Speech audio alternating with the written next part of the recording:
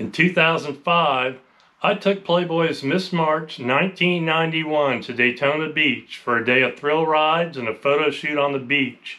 And you get to see how it all went down right now in this video.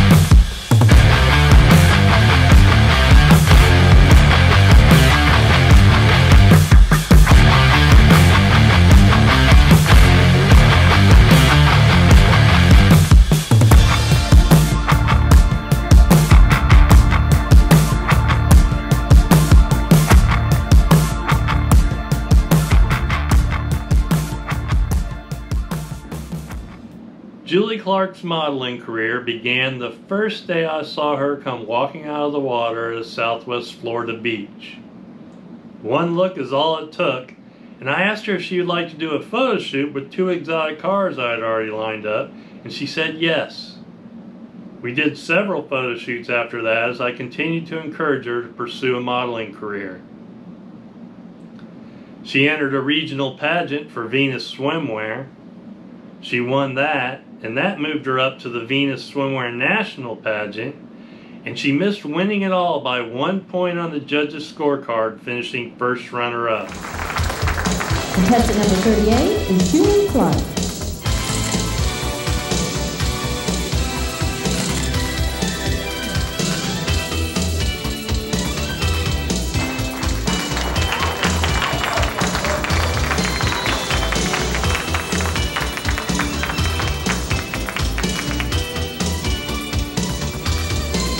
This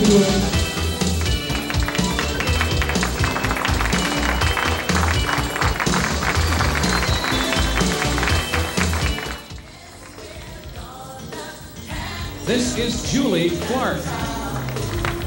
Julie from Naples, Florida, 18 years old.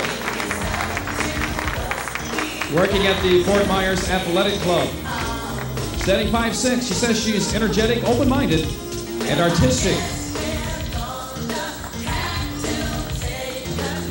Julie Clarke.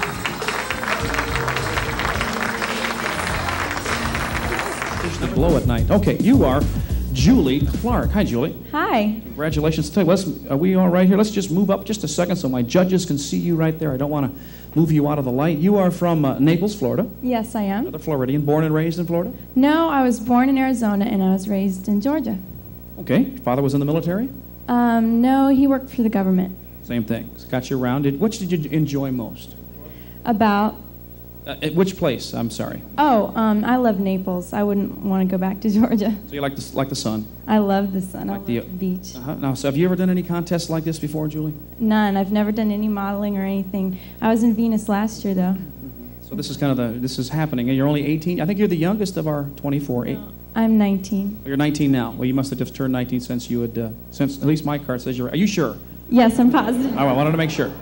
These cards are always right. Now, you like to rollerblade. I see people doing this going down the streets. Uh, it, I've got to get up here. Is it fun? Oh, it's great. It's great exercise. You can, you, you can move a lot with your body, and it's great. I like to dance a little bit.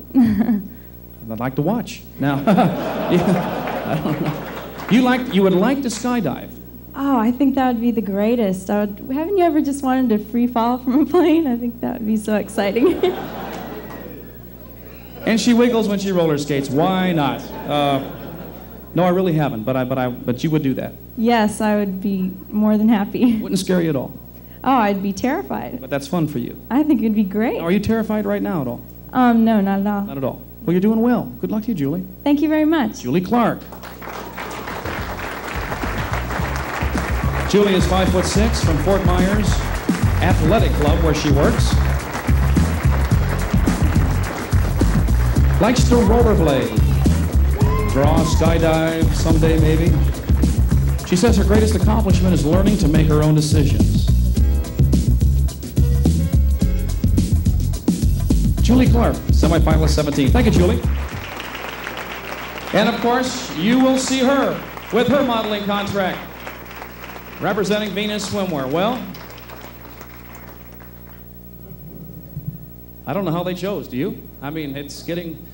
We're down to two names, folks. We're down to our first runner-up. Now, I want to mention this is seventeen thousand dollars, seventeen thousand dollars in cash and prizes. And don't forget that little puppy, Timber Shepherd puppy, worth six thousand. That will attack any man that gets close. Ladies and gentlemen, and of course, if for any reason our winner cannot fulfill the obligation, and at times that does happen, first runner-up takes responsibility as the brand new Miss Venus Swimwear. Very, very important decision. First runner-up is Julie Clarke. Julie Clarke.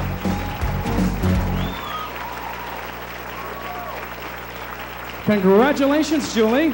First runner-up. Thank you. You're quite welcome. Well, let me ask you a question. Do you have a doghouse? No, I don't. Not yet. Well, go build one because you've got a brand new puppy. Congratulations. Thank you so much. You're welcome, Julie. All right. Ladies and gentlemen, $130,000. Brand new Black Lotus Esprit Turbo, the world's most exciting automobile. One year modeling contract. That beautiful painting by our good friend, Hawaiian Vacation for Two from Continental Airlines. Fine leather wardrobe, fashions, exquisite five-piece diamond set, emerald jewelry, Royal American Holidays, a trip to Cancun, Mexico, a wardrobe from Merry-Go-Round Boutiques, LA Gear Unstoppable clothing outfits, a principal speaking role, and a motion picture or commercial.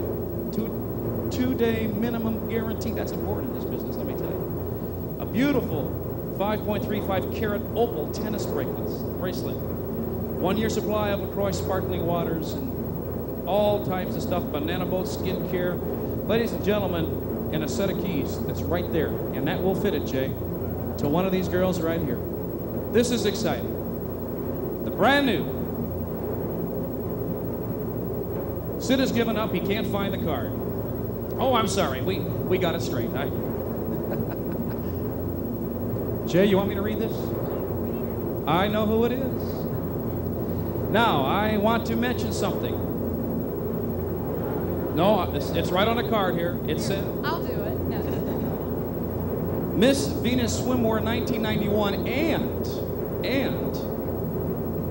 also won the special swimsuit award winner as selected by our panel of industry experts. So she won a lot more than 130,000 bucks. Ladies and gentlemen, here she is, your brand new winner, Deprice Brescia. Deprice Brescia, Miss Venus Swimwear 1991.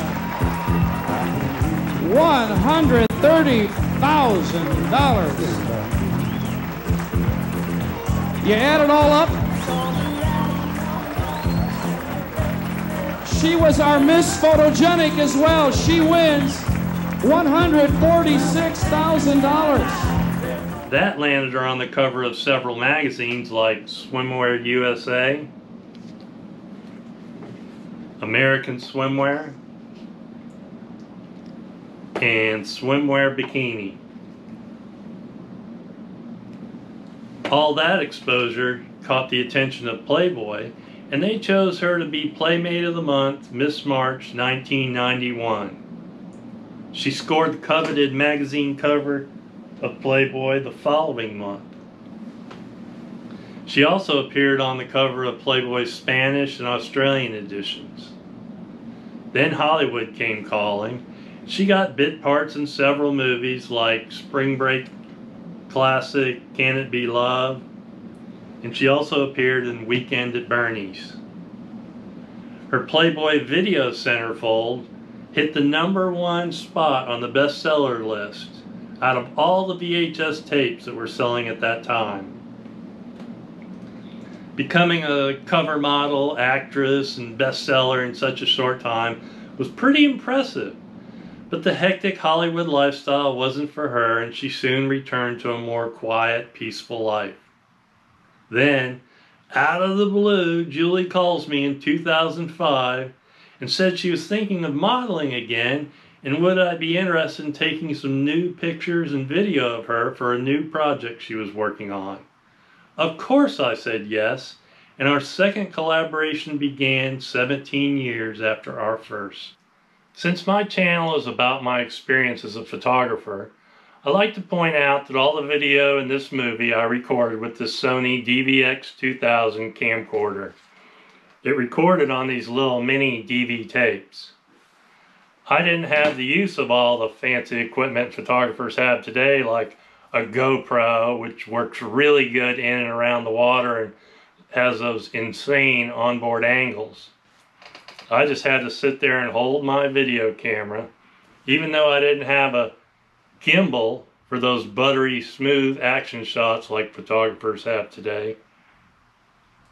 I also had to shoot everything from the ground angle because drones weren't available yet. So I had no way of getting those beautiful aerial images. The other thing I'd like to point out is my editing style. I'm not a big fan of those that try to fit a clip in, in between each beat of the music. Makes it so busy that it's moving along so fast you don't even know what's going on. I prefer to let the scene tell the story and just use the music to help it flow along. I want the result to look natural as if you're riding along right there with us. And I hope I succeeded.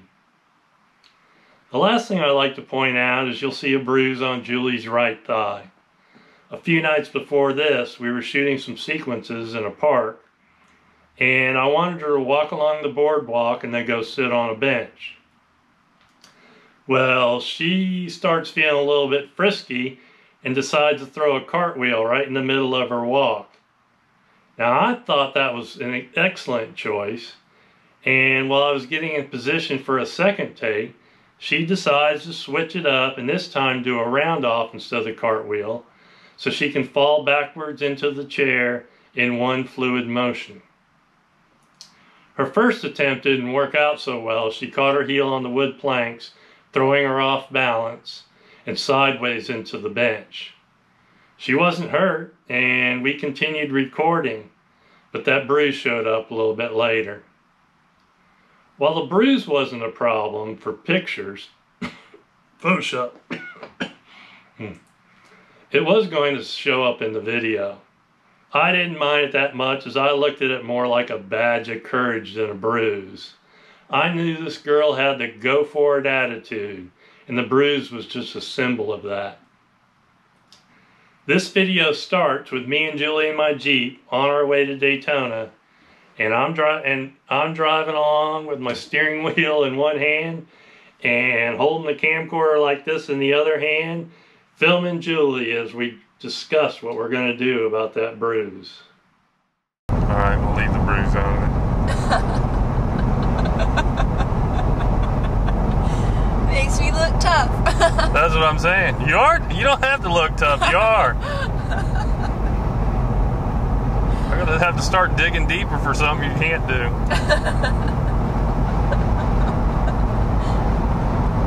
ultimate fighting? Can you do? Have you done ultimate fighting? No, before? I don't think I would do that.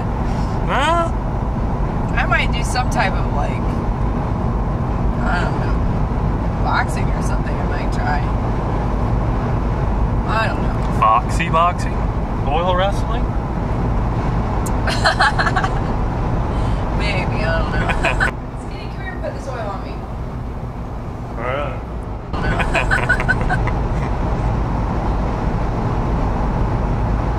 That's more of a, I don't know, spectator.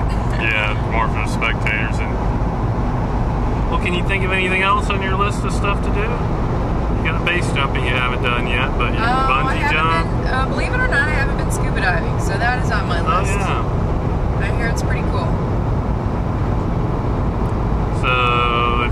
that done, then you'd conquer the land, sea, and the air, right? You've done it all. Indeed, indeed. Probably my ideal job, if I could have any job in the world, would be to drive high performance automobiles, test high performance automobiles on the Autobahn. Yeah, I think I would get out of bed for that. you wouldn't be afraid to do 150? No way. No way you'd do it, or no way you'd be afraid? no way I'd be afraid. Oh. okay, well, how about how about uh, would you drive a NASCAR car? Sure. Like they have the Richard Petty driving experience where you can drive 150. Oh, would you do that? I you would do that. do that. Absolutely. Because I heard people say they can do it, but then when they get into that first turn and they're doing over 100, they have a hard time keeping up. Bring it on.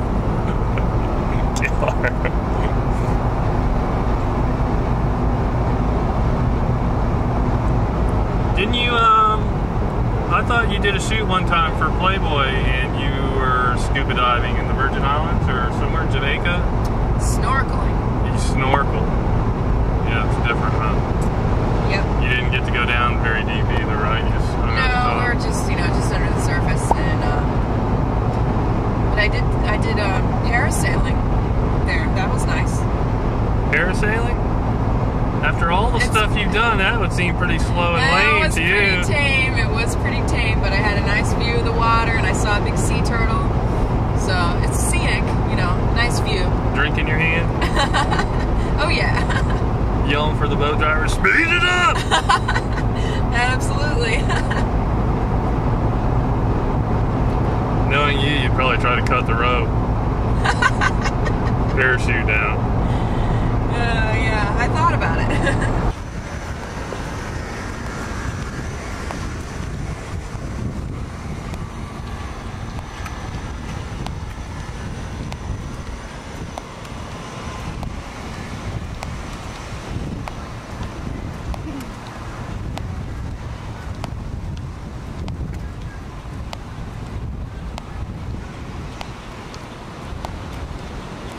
Welcome to the beach.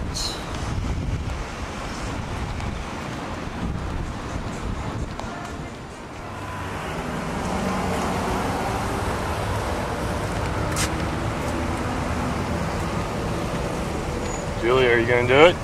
Here we are. You bet I am. Where are you going? Point to, tell me what you're gonna do right there because I can see it. Um, I'm gonna take a ride on the slingshot. I've been on my spaceship counting stars since 94 Waiting for someone to come and knock on my door Looking for someone who'd be the Venus to my Mars Why does love always have to be this hard? Got me feeling like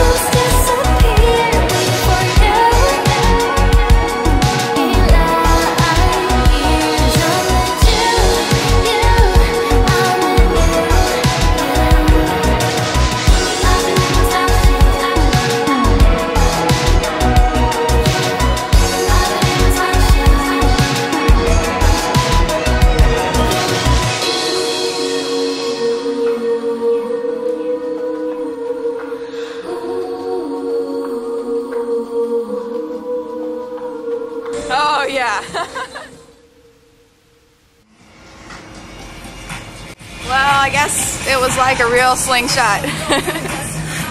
as best as I can think of to s- describe it. Would you do it again? Oh yeah, definitely. Let's uh, go. That was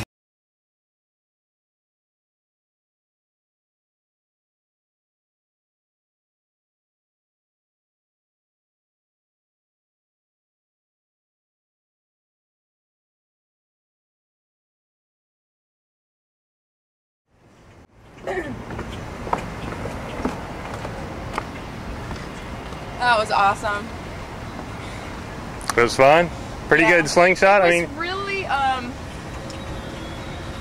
it was really uh it wasn't jerky, like it was really soft. There was no jerk. on the It's really- takeoff. on You know the what whole- I During the whole thing, it just like it's it goes really fast, whoosh, all the way up, and then just um, then you just like softly start bouncing back and forth, and then come down. Uh, that was a pretty interesting way to describe the ride. Kind of liked it.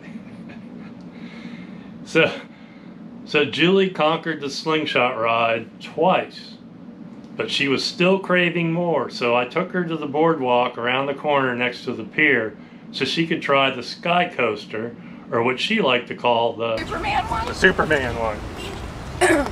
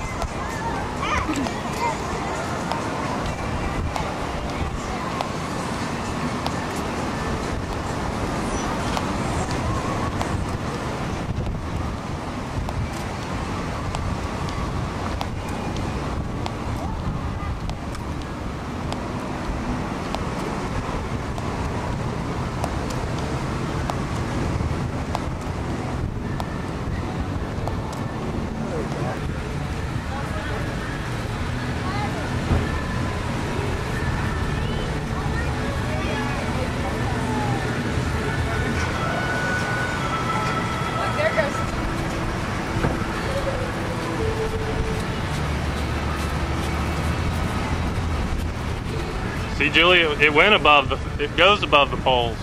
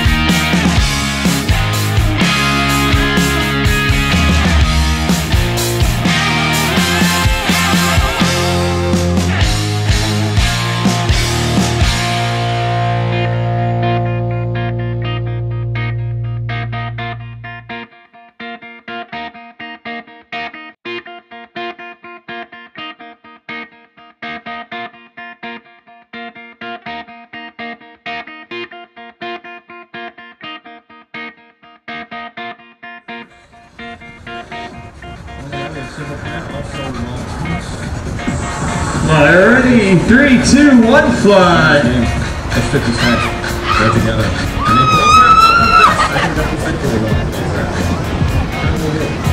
Exactly.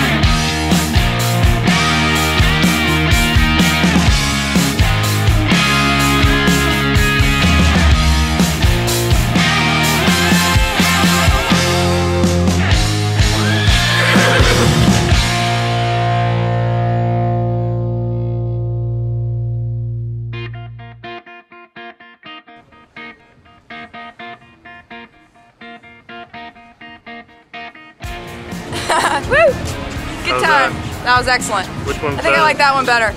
Really? Yeah, because you're face first. You like get the real Superman experience. You screamed louder.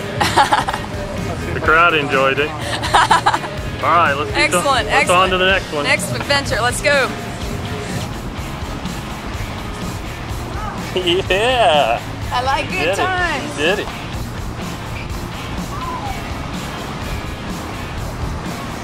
You know, you screamed so loud on the last one, I think you woke Christy up. Great.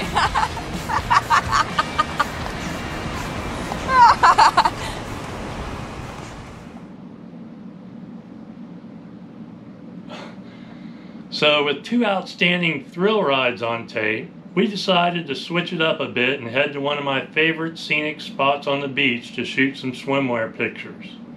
Here's Julie Clarke, just shy of 36 years old, and 15 years after she first posed for Playboy. Is it crisscross? It crisscross. Okay. Is it too tight or is that A little bit tighter, just a a little. little bit? You're going to want to be able to pull to the side. Yeah. It's real, that's Right good. there? Right there, that's probably good.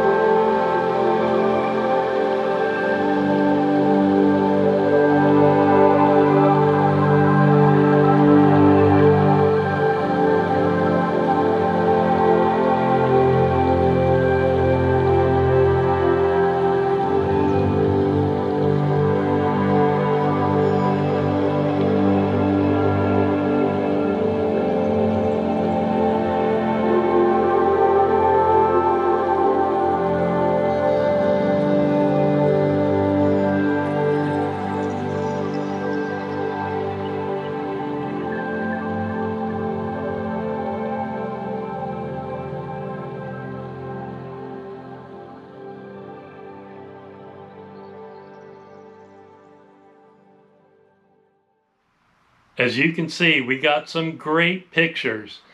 But with darkness quickly approaching, I decided to call it a wrap. We packed up and headed back to Daytona Beach and the Oyster Pub for a well deserved dinner.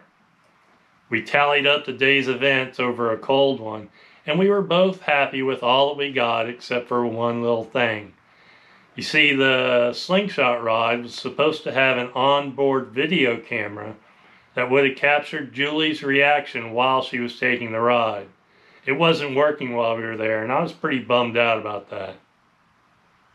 The ride operator did tell us that the slingshot ride on Orlando's International Drive had a working video camera and they shoot you out of a volcano.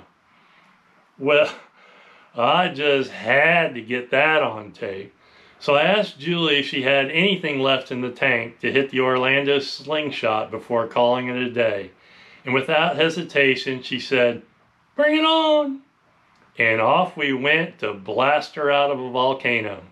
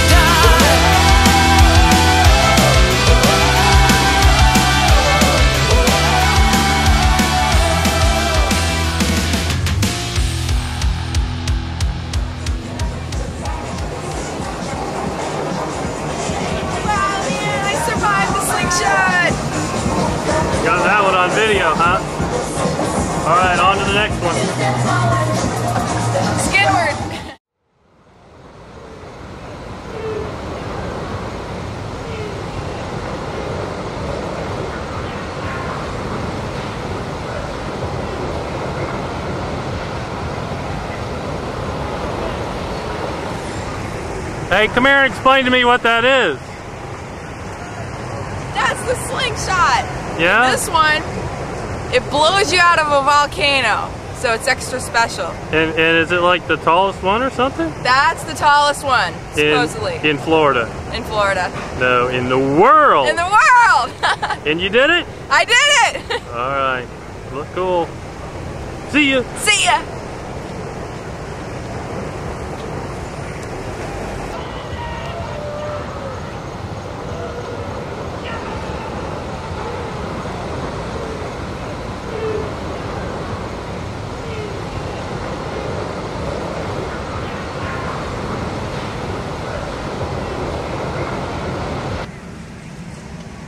I just got blown out of a volcano.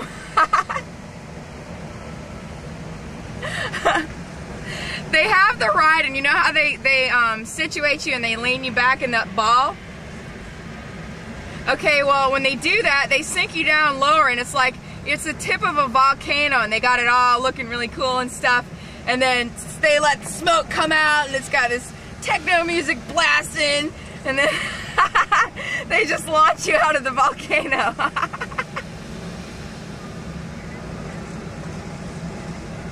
It's the highest one in the world, and um, I'm not. About how high is it? I, I didn't see. I don't know. It's about 20 stories. probably. About 20 stories high. Tell about the rider that spun you around after you got the bonus. and then, the so bonus. get this, because I was by myself, the, the ride operator went with me, and he gets us up after we do the first sling, the first time we get up to the top. He's he's like, lean forward, lean forward, and he starts spinning the thing, and we're going around 900 miles an hour, around and around and around and around. I was so dizzy, it was hilarious, and the video came out killer. Like 20, I don't know. It's way the heck up there. You should see the thing is killer.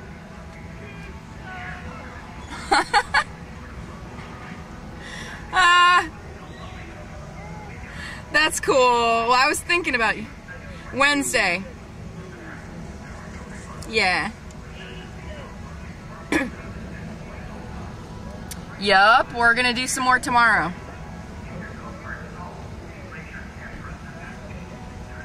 Um, we did a bunch in um, Skinny's house yesterday, and then today we are on Daytona Beach, and then tomorrow we're gonna go to a different area of Daytona Beach. So,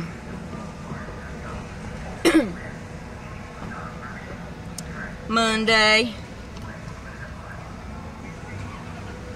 Um, yeah, Wednesday sometime. Then I gotta. Then I'm going home. well, let me check my itinerary. If we did check our itinerary, it would show many of the other activities we had planned, like kayaking the crystal clear Wekiwa Springs and horseback riding some trails in Kissimmee, or maybe testing out her marksmanship. How about driving a swamp buggy in the Everglades? Or seeing if she really would drive a race car 150 miles an hour around the high banks of Daytona. I took her to Skyventure, which is a vertical wind tunnel that's used to simulate skydiving. With 250 real jumps logged, I think this one got Julie the most excited. Watch for an upcoming video dedicated just to Julie's Skyventure experience and see why she could barely contain herself. What a day we had! It started just before noon when I told her we were heading over to Daytona to try a couple of thrill rides. She was ready and waiting for me in my Jeep before I could get my camera bag packed. Being fussy is not part of her character, and I never heard a single complaint out of her the entire day. Zero drama, and I like that. It allows us to be free to enjoy what's in front of us. I never understood people that needlessly start fires and then have to waste time putting them out. I like good times too, and Julie was the ultimate wingman. YouTube was only a few months old when we recorded this video, so YouTubers and vloggers weren't a thing yet. But I think Julie and I would have made a great team. I bet we could have won it all on that TV show, The Amazing Race. So that's how my day with Julie Clarke went. And you'd think the adventure ended when we left that volcano on I Drive. I thought Julie would have settled in, maybe looked at her itinerary book for the next adventure to conquer before going to bed. But oh no. She decides to make us a midnight snack and turns a simple banana split into a colossal mess. I didn't mind one bit, and it was easy to clean up. It was kind of tasty too. You know the day is officially over when you hit the showers, so on this story here from my life as a photographer.